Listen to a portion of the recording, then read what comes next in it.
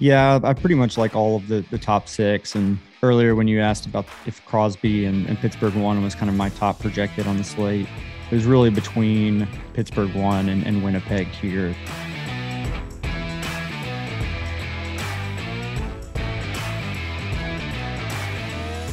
I think they're in a great spot just due to the injuries you mentioned for for Vegas and also the coming on the second of a back to back.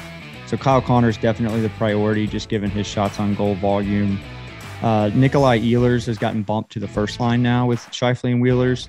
I think that'll help both Ehlers and Connors because they were a little bit cannibalizing each other's shot shot on goal volume.